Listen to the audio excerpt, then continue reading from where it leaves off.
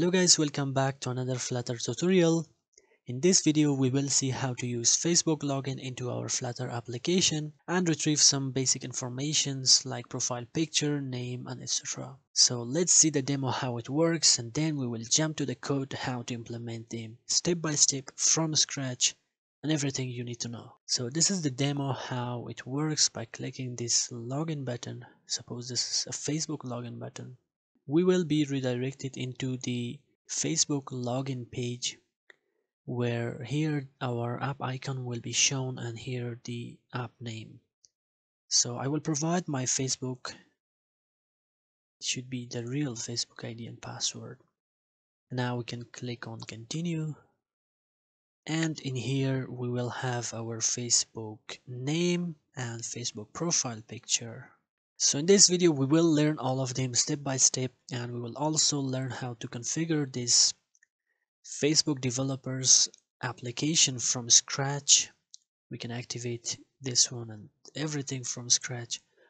So without talking too much, let's get started with the coding and see how we can implement that. Hello guys, welcome back. So now let's get started and see how we can add Facebook login into our Flutter application. So first you have to come and uh, configure Firebase with your Flutter project, which is a required process. And then come to the authentication, come to the Facebook, enable this one and uh, you won't have this app ID and secret and uh, you have to find these ones. So go to the Facebook developers.facebook.com, click on My Apps and then create app. Uh, choose the type of your app. I will create a business integration then continue. Then provide a name for your app. I will login underscore demo. And then create app So once you have done that, you will be redirected to this page. You can see you have your app ID in here, uh, which we have to copy this one and uh, go to our Firebase, paste it in here, and now we require app secret, which you can go to the basic and from here click show and type your Facebook password. After typing your Facebook password correctly, you will get an app secret which you can copy this and come to the Firebase and paste it in here. Down below you have a link which you have to copy again and then go back in here, save these changes, go to the dashboard Down here, click on Facebook login. Click on setup. And then in here from your platform, in this video we will work with Android. So I will choose Android. Then you don't have to download this one.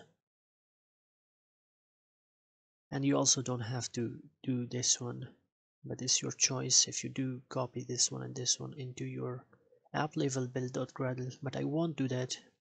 It will work without them. So in here you have to go ahead into your project Android manifest copy your package name paste it in here and again paste it with main activity at the end. Save this then continue. Now we have to create a key hash which is required in here. So the steps are mentioned here in Mac OS and Windows. So I'm in Windows. Uh, first I have to go here and download this OpenSSL for Windows. I will leave the link for this one in the description. You can download the latest one from here. After downloading it you can extract it anywhere that you want. I already extracted in my desktop here. So after that you can come and uh, copy the whole thing from here. Copy the code. Go to your command prompt. Paste it in here. And then there are some modifications you have to do. First is uh, here just provide change it with your username. And in here path to the open SSL library slash bin. I can go in here and copy the path. Go to the CMD delete until the bin. I think it's not working like that so we can remove all the way to the bin and then paste the path slash bin slash open SSL if you go to the bin in here you will have this open SSL so we will use that. Again in here you have to do the same thing. You've copied the same path. Oh. paste it in here and press enter it will ask for a password you can give Android as a password. Then it will generate you this key. Just copy this key and go to the browser. Down below here, paste it. Click save and continue. So this is the one which you may require or not will launch from Android notifications, but I don't need it, just save it next. So now we have to go to our app res values string.xml file which we don't have that.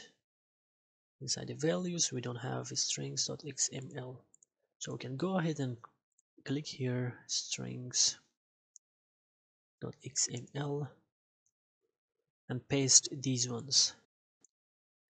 I will just paste this one because we don't have uh, strings.xml uh, these lines are just for xml codes. And inside that i have pasted the same thing which is provided in there. Now we have to copy our id and paste it instead of this guy. And also instead of this guy. Be careful that the next one is having fb at the first one and in here you have to provide your app name which is login underscore demo for me. You might wonder where i got this code. Ah i just got it from this package in here which we will use for facebook login. I got it from readme of this one.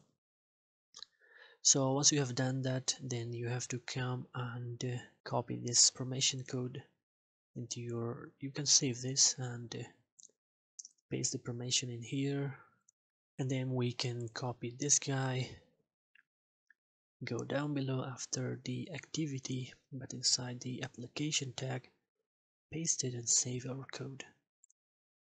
Then come down we can go next.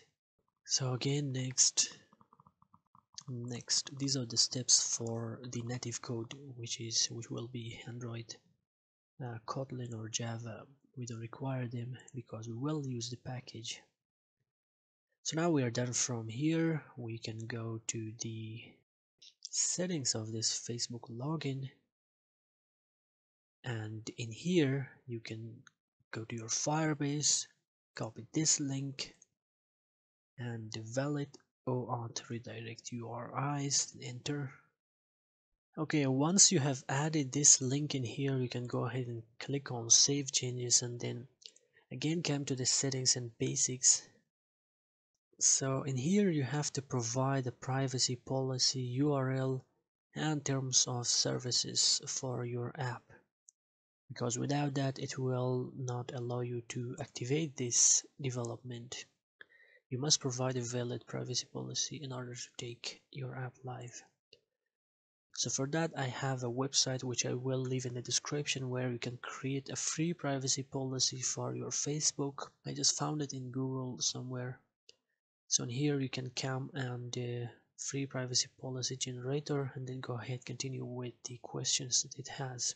For my case I already did create a privacy policy for Facebook which is here. I will copy this one and paste it in here. And then I will save the changes use this package name. Now it should work fine you can switch the mode to live.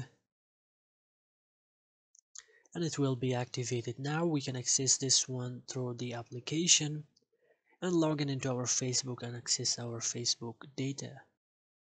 So if you don't have this button in here which will switch into development and live mode you can go ahead into the app review request. You will have two options in here. You can go to the requests and click on request permission or feature then yours will be different in here which will which you will have a public profile and email as active and the rest will be required to request. So come down at the end you will have an option to delete application. Click on that delete uh, and this option in here be careful. Click on that delete and then provide your Facebook uh, password and then confirm it and then you will have these three options and also this button activated for you. So now we are ready to get use of this application into our flutter application. So we will use this package to provide the facebook login for our application. We already did these steps by configuring our uh, facebook application out there so we will come to the example and copy the example which is provided in here. So I will copy the login function from here and go to our application main. I will create the scaffold very quick and app bar. So inside my app bar I want to have a button where by clicking of that button I will be able to log in using my Facebook and retrieve my data from Facebook. Let me do that very quick. So on press of this button, I will just go and copy the guy which I got it from there. Then I will include the library. Now I will also make this on press of this button and sync function and everything will be fine. Then I have to copy this one as well. So this is just a demo. We just want to see how it works that's why I'm just doing it very quick. So let me save this and on press of this button we will log in through the Facebook and this is the permission that we, we are giving in here. So after that once our user is logged in then we will get its token. Using that token we will provide we will print these informations into our console which is token user id expiration of this login session, permissions, and the other things. So let's run our application into our device and see how it performs till now. Okay, our application is up and running. Let's go ahead and click on this login button in here. Now we should be able to log in using our Facebook. Okay, we are here with our Facebook. You can see our app name is, uh, is uh, showing in here and this is our app icon. We can also change that icon using uh, by going in here into our settings basic and we can provide an icon here and it will appear in here. So you can see here we have successfully logged in and now it says continue as pool. This is the name of my Facebook. If I click on continue then we will be redirected into our application backend here in the console we should have our token user id expire date permissions. We have only public profile and email permission decline permissions. So now let me do something to uh, retrieve my uh, profile picture from my account from my facebook id and also retrieve my name. How can i do that? Is very much simple okay now we will go ahead and uh, retrieve our profile picture and uh, Facebook name from this access token. If you go to the this uh, package readme down below you will find these ones which will give you access on how to retrieve your information from your Facebook using token Uh, so this is a graph API from Facebook which will give us access to retrieve our information using uh, by providing the fields that we require and giving the access token. And then it will return us a map of information where we will be able to uh, use those information into our application so in here we don't have the HTTP we have to go and search for HTTP package for Flutter. Then go here install into our pubspec YAML. Save it. Then we can go to the readme copy this package paste it in here. Now we should be fine. We also don't have this json which is right now i think json decode. Json decode. It's not decoder. It's json decode. So now we have to provide our access token in here. And there should be no errors. So the fields which we require is the first name. So these two fields I will get in here and then I will go and set state set state and using this well, I have to first create a variable for these two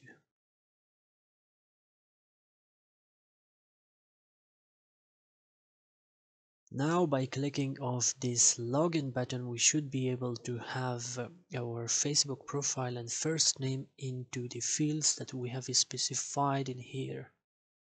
Of course we have to define in here image not equals to null. Okay, now by pressing the of this login button, we should be able to log in into our Facebook, which is in here. So previously I was logged in that's why I just popped to continue. In here I have to provide access token dot token. I forget that now if I restart the application and so you can see by printing this profile in here we have some information in here like by using this first name we can access our first name by using picture then data and then URL we can access our image. I can provide data then URL so this is how I will retrieve my picture and the first name I don't know why it's not working Okay. Now if I save this and restart my application once again, oh, I got my first name up out there. So there was no problem with first name, only the picture was the problem. If I log in again and continue with my Facebook in here, I should be able to have my profile picture and the first name in there. So I have my first name and profile picture and it seems it's working very fine. So I will link on how the Graph API for Facebook works. You can go ahead and play with that by yourself. This is the link how the Graph API works. You can see the documentation here, uh, your app ID. Since right now we are using, we are logged in with our Facebook, that's why we are using me. And this is the version for the Graph API, which I will again leave a link where you can get the latest version for now it's uh, version 9 you, we can use uh, version 9 instead of 2.1 out there and also go to your application play with these permissions out here give permissions according to your wish and according to your need and uh, this is how we can implement the Facebook login and retrieve some basic information from our Facebook. So thank you for watching. Don't forget to subscribe and like and I will see you in the next video.